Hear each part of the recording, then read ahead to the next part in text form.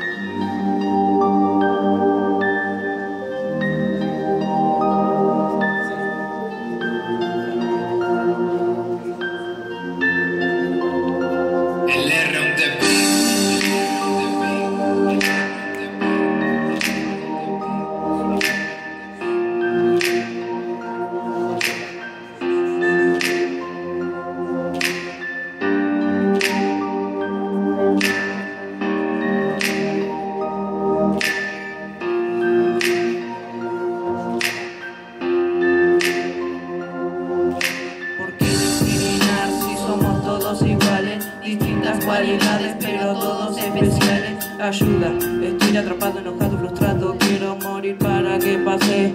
Este sufrimiento está jugando con mis sentimientos. Quise cambiar, hacerme popular para protegerme de los demás. ¿Qué importa ser vegano, carnívoro, vegetariano? No quiero ser discriminado.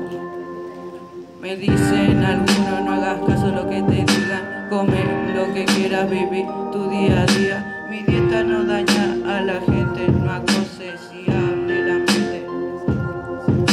Acéptame, recházame, pero no quieras cambiarme. Soy diferente, quiero que me acepte la gente. Que no crecer, que soy enano, pero mi sufrimiento te juro no ha sido en vano. No me discrimines, acéptame, no quiero explotar.